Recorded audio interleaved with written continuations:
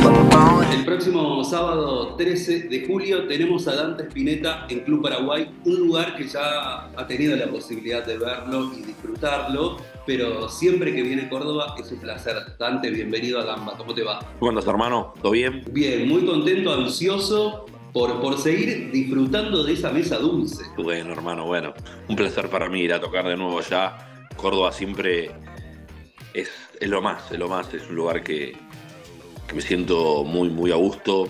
Es una ciudad increíble y, bueno, el Club Paraguay también. O sea, es como siempre estoy yendo al Club Paraguay y la pasamos increíble, así que va a ser una fiesta. No tengo dudas. Quiero hacer esta analogía, seguramente ya te la han hecho, en relación a la mesa dulce, que por lo general se ataca y muy rápido y se disfruta. A lo largo de este tiempo, desde diciembre del 2022 hasta esta fecha, también calculo yo que has ido, disfrutando de esa mesa dulce. Sí, la verdad que este, este disco cambió, me cambió mucho el panorama, ¿no? el paisaje de, mi carrera. Es un álbum que yo sabía cuando lo estaba haciendo y cuando lo terminé, eh, iba a ser como un punto de inflexión en mi carrera, ¿no? Eh, una bisagra, que, que, se abría algo diferente. Y bueno, creo que es una cuestión como hasta energética, ¿viste? Esa seguridad que uno tiene eh, cuando tenés algo que sabes que esto es lo que tenía que tener, esto es lo que estoy disfrutándolo, hay un amor acá, eh, no mucho trabajo y, bueno, todo lo que pasó desde, desde, como decís, desde diciembre del 22 que salió el álbum, o sea, el 2023 fue una locura, ¿no? Eh, no sé, volver a, tocar en un montón de lugares que no venía tocando hace mucho tiempo, de ¿no? ciudades del mundo, no sé lo que pasó, bueno, las nominaciones a los Grammy, haber ganado un Grammy eh, haber ganado cuatro Gardeles, eh, con siete nominaciones el álbum también, una locura. Son cosas que, haber hecho un gran Rex, un, una ópera el mismo año. Eh, la gira nacional fue increíble también, por todos lados. Entonces es como que no, no puedo estar más agradecido ¿no? de, este momento. Y disfrutando, esto es como, un, para mí Mesa Dulce es como un comienzo a una nueva etapa, ¿no? Que, bueno, espero seguir mostrándolo con el álbum que se viene, que es lo que estoy grabando. Eh, tuve una sesión de grabación hasta tarde con De La Gueto, que, vino de Puerto Rico. Grabamos algo que está zarpado, que es diferente. Eh, y nada, flasheando, flasheando con todo lo que se viene, bro. ¿Entendés? Y tocando, que para mí es clave, boludo, porque toda esa energía que pasa en el concierto me la llevo me la llevo también para el álbum, ¿no? Seguro, seguro. Bueno, ahí me diste un puntapié a preguntarte si ya estabas trabajando en canciones nuevas, en un nuevo material discográfico. ¿Eso está sucediendo? Sí, estamos, estamos estoy grabando con la banda, eh, eh, con algunos colaboradores también de, de músicos que, que, están en algunos lugares del mundo. No voy a decir nombres porque quiero también que sea sorpresa. Eh, pero está quedando increíble el álbum nuevo, brother. Es, como que estoy estoy súper cebado, más o menos. Eh, tiene que ver con Mesa Dulce, obviamente hay una. Creo, tengo ganas de que sea como una etapa en mi carrera, toda esta etapa fanquera, que no solamente quede en un disco. Eh, y. Pero tiene como cosas diferentes también. Es difícil de explicar sin escuchar, ¿no? Pero pero estoy muy cebado y este disco, estoy ahora estoy tomado, justamente mi vida está tomada por el estudio, por, por ese momento de donde tengo que dedicarle todo al álbum, ¿no? Eh, escribiendo las letras, luchando con un invierno cruel también, porque por ejemplo, de golpe para grabar, eh, si estás un poco congestionado, si tenés un poquito de gripe o algo, se nota mucho y no lo podés grabar eh, y es terrible eso de grabar voces en invierno, es terrible, eh, así que medio que, claro, ahora estoy como escribiendo las letras, que, que, viste como, bueno, ganando tiempo con eso, ya la música las grabé, están todas, okay. eh, faltan algunas cositas, pero, pero bueno, ahora con lo de las letras y esperando a, a, a, a que se me vaya la congestión un poquitito para, para dejar las tomas de voz, ¿no? De todas maneras, a ver, estamos hablando de, de, un nuevo disco ya más finales del 2024, ya pensando para el año que viene. Mira, voy a empezar a sacar cosas este año, algunos tracksitos, eh, y bueno, capaz sale este año, pero yo me parece que lo veo más como para el año que viene. Eh, el disco entero, pero sí sacar tres, cuatro temas, como ir construyendo la, el despegue de la nueva nave. Eh, pero estoy muy feliz, estoy muy feliz porque es un momento musical importante donde estoy viendo un momento soñado también eh, que tiene que ver con, con justamente con darse cuenta de, o sea, no sé, de agradecer, de, justamente de agradecer la posibilidad de disfrutar el camino y todos los años de, o sea, ya casi 30 años de hacer música eh, y todo, viste, cuando vos decís, bueno, hay cosas capaz que están estuve más inspirado que otras porque son mejores artísticamente, pero inclusive con hasta las contradicciones eh, conceptuales, musicales, con los, momentos más iluminados, más tristes, más todo hizo que lleguemos a ahora, ¿no? Eh, todo es parte de, este presente que, que me siento que, estoy en, mi mejor momento musical. Y con Mesa Dulce lo demostré y con este nuevo álbum esperemos eh, seguir a esa altura, ¿no? Yo creo que sí ya lo que está, está, está picante, bro. Qué bueno. Aparte, por lo que uno ha podido escuchar y disfrutarlo y verlo en vivo también, este disco, eh, es un disco que te representa desde el minuto cero hasta que termina. Y considero yo también que habla de ese compromiso y de las ganas de seguir haciendo música eh, con un historial enorme que tenés dentro de, de la música nacional y con todo un futuro, bueno, impresionante. O sea, no, hace falta decirlo. O sea, eso significa que hay futuro. Sí, boludo. Siempre que hace el amor. Eh, y el amor puede cambiar de forma, pero sigue siendo amor. Y sigue.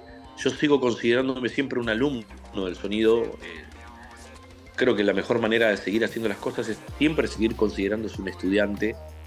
Eh, porque el gran maestro o la gran maestra es la vida misma, ¿no? La, eh, eh, y el sonido también es, enorme y, hay que aprender de los maestros de antes y los maestros nuevos también, mantenerse con esa humildad de seguir mejorando y no creérsela, no creer que llegaste, che, bueno. Uno, yo puedo reconocer que este es un paso grande que cuando yo era chico quería sonar como Mesa Dulce, eh, quería que un funk suene como Rebelión y no sabía cómo hacerlo todavía pero siempre quedó ese, esa especie de sensación y ese, como objetivo, para llamarlo objetivo, porque no sé si es un objetivo, pero digo como algo ahí que estaba latiendo.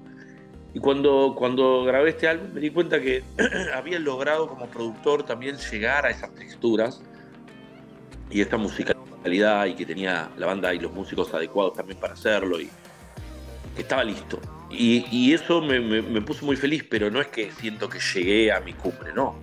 Siempre hay nuevos planetas y nuevos paisajes para descubrir. Y eso es lo lindo de la vida, seguir justamente recorriendo, ¿no? El, como ese universo espiritual que es la música.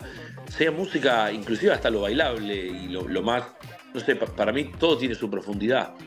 Hay canciones capaz que hago como, no sé, como Soltar, que es una canción súper profunda, con una letra que, que, tiene un, una, o sea, como una gama de colores muy diferente a capaz otra como Rebelión, que es más bailable y más funky, y donde la letra tiene que ser mucho más picante porque es parte del estilo. Y reconocer eso también está bueno, como qué necesita cada canción, viste, más allá del ego y de, de no, bueno, esto tiene que ser y que no, digamos, por eso te digo, yo no, no tengo miedo a seguir jugando, a eso me refiero.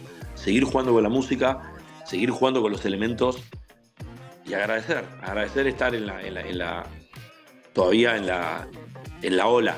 Entonces, después de 30 años estoy, sigo fresh, sigo haciendo cosas que están buenas, sigo sorprendiendo y, mejorando, ¿no? Y bueno, sobre todo teniendo en cuenta que hay un, hay un sonido nacional, me animo a decir, que, muchos artistas lo han adoptado y han salido a defenderlo, a lo mejor eh, tomándote como referencia. ¿Te pasa un poco eso? ¿Te sentís un poco parte de, eso, de, lo que sucede musicalmente hablando y de aquellos artistas tal vez, no sé si denominados de la nueva generación, pero que han adoptado o se han sentido como cómodos en, este, en este estilo, en este género.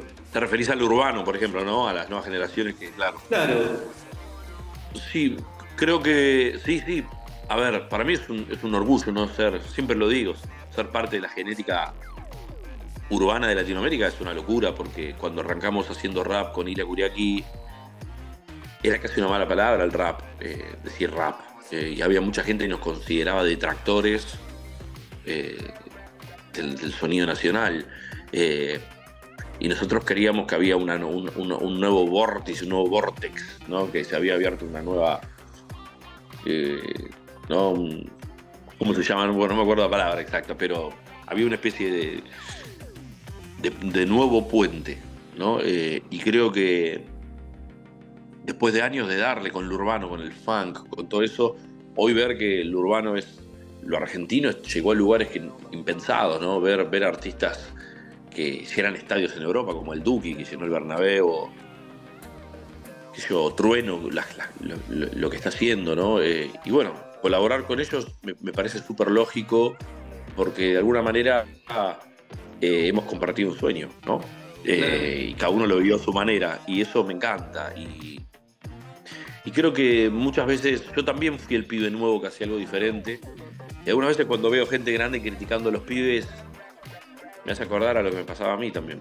Y ahora que yo soy ahora yo soy el grande que tiene 40 y algo que puede llegar a criticar, no lo haría jamás, porque primero hay que dejar, hay que darle tiempo a los artistas para que se desarrollen y eso. Y aparte, la policía musical no va. Te puede gustar algo o no, pero viste, la música es algo, lo que te hace bien es lo que va. Esa es la verdad. Lo que te hace sentir feliz. Obviamente entiende, pero hablando de música real, de gente que hace las cosas con el corazón. Lo que no compro es gente que no hace las cosas con el corazón, que lo hace por número, que lo hace por fama o para estar pegado, porque, oye, bueno, ahora la que va es sacar canciones. No, creo que eh, yo respeto mucho a eso, a, lo auténtico. O sea, hagas lo que hagas, cuando hay autenticidad y hay alma puesta, se nota, bro, y esa es la gran diferencia de todo hay, hay culturas que uno no puede entender. Yo entiendo que alguien que escuchó toda la vida, no sé, rock progresivo o cosas así, no puede entender la música urbana. Porque es otra cultura. Y yo tampoco capaz puedo entender todo lo que... Yo tuve la suerte de crecer en, varios mundos al mismo tiempo. ¿Entendés? Como yendo y viniendo.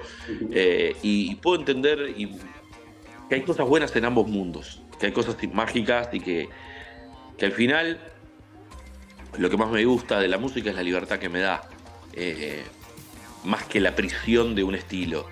No quiero estar encerrado. Y eso lo demostré, creo, siempre desde, la época de la Curiaki, que hacíamos discos como Chaco, que mezclaba desde canciones como Remisero o Chaco con canciones como Húmeda, Abismo o, o Abraham la Bañera en un mismo disco, pasando de temas con una orquesta eh, a, temas eh, super triperos y, y otros funky como Shower House y rap. Y entendí que mi lugar era esa libertad, que tenía que ver con también cómo crecí, porque crecí con todo eso, escuchando de Spinetta y Charlie y Fito y escuchando Prince y Erwin Fire y el rap y, y, todo eso se consolidó eh, como, también parte de lo que soy. No, no, no, no, ¿por qué limitarnos? Por, por, por cómo la gente quiere ver el mundo. Cada uno lo tiene que ver como lo siente. Esa es la verdad. Te traigo al 2024 y te traigo ya directamente al sábado 13 de julio en Córdoba Capital. ¿Cómo es una previa al, show de Dante? Y en este caso, una previa a Club Paraguay. Bueno, hay, siempre, mira, es lo que me pasa, que es que siempre sigo teniendo como esa especie de, mini nervios que te, por más de que ya hace mucho toco, siguen estando esos nerviositos antes de subir al escenario y me encanta. Eh, y el disfrute, disfrutar y ir con eh, toda la banda, toda todo el conjunto de gente que me acompaña, no solamente la banda, sino todos los asistentes, sonidistas. Vamos todos con la misión de, pasarla bien, de generar una gran experiencia, de que la gente la pase bien. Eh, y yo estoy muy agradecido que, habiendo tantas posibilidades y estando bajo el manto de una economía durísima como estamos también, que la gente pague un ticket, y elija venir a verme entre todas las otras propuestas, lo aprecio muchísimo, así que voy a darle lo mejor posible y, pasarla de puta madre, ¿entendés? Con un, buen momento musical. Y esto, ya no estoy presentando el disco, no estoy, esto es ganas de ir a Córdoba a tocar, esa es la verdad. Pero, ir a tocar a Córdoba. Pero sentís que lo estás despidiendo. El disco, el disco sí, ya el, el, Latin Funky Nation Tour terminó, terminó en Europa en realidad, en Perú. Terminó. Eh, y, y ahora estamos tocando en, este, en este momento es como una especie de... Es el entretiempo es, y es el lugar íntimo. Por eso, por eso Club Paraguay tiene esa magia porque estoy con la gente muy cerca. Eh, es un lugar chico, con la gente acá, y se genera una intimidad. Que esta es la charla, es la charla del entretiempo, es, clave. Y, para mí es una energía muy renovadora porque, como te decía, yo toda la semana estoy adentro del estudio. Y este show de fin de semana a mí me recarga la energía grosso para volver el lunes a meterme al estudio con todo el flow cordobés. ¿Entiendes? Y eso, y claro, boludo, porque eso es lo que, lo que genera en vivo, se genera otra cosa. Eh, y, nada, la formación está picante, los pies están tocando todo, siempre, ya hace rato, ¿no? Y, nada, a disfrutarlo, bro. Club Paraguay está buenísimo. No tengo dudas de que va a ser una gran fiesta y una mesa dulce que se va, que se va a disfrutar de principio a fin. Dante, agradecerte por estos minutos, por esta charla y bueno, será un placer recibirte el día sábado, el próximo, el próximo sábado 13 de julio, acá en Córdoba Capital una vez más. Gracias a vos, hermano. Eh, gran charla y abrazo para todo Córdoba, los quiero y nos vemos allá.